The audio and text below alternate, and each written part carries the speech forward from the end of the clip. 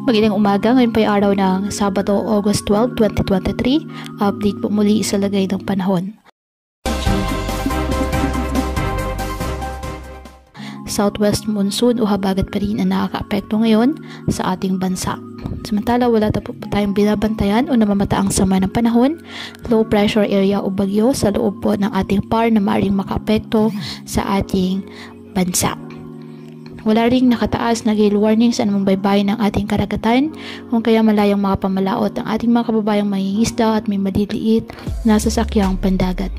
Ngayong araw ang Visayas, Mindanao, Catanduanes, Sorsogon, Albay, Masbate, northern portion of Palawan at Batanes, asahan na maulap na kalangitan na may kalat-kalat na pagulan at thunderstorms dahil po sa habagat uh, Metro Manila at nalalabing bahagi ng bansa, bahagyang maulap hanggang sa maulap na halangitan with isolated rain showers or thunderstorms dahil pa rin sa habagat at localized thunderstorms.